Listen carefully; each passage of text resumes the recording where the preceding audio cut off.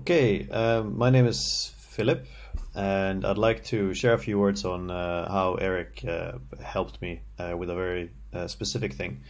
Uh, so I was in a uh, in a station where I couldn't make a decision that was really difficult to me. I had a lot of a lot of people are depending on the outcome of this decision, so it was very hard. Like I had a lot of ego responses and um, feelings of, uh, of guilt uh, that were kind of blocking my ability to to um, to make the decision.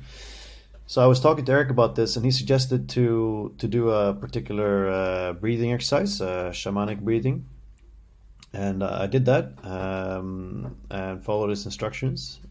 and at the 30, 30 minute mark on the shamanic breathing, I had a really I would say, gorgeous experience uh, where um, I got in touch with my inner self uh, and had a very strong response. And uh, afterwards, I felt like a very strong clarity. Uh, and now I know exactly what to do. So I feel, you know, unplugged in a way. Really, really nice.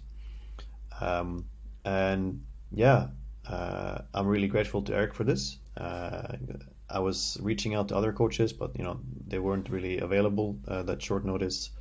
And uh, to be honest, based on previous experience, I there's, there's like a, a, type of a coach that I don't really trust anymore.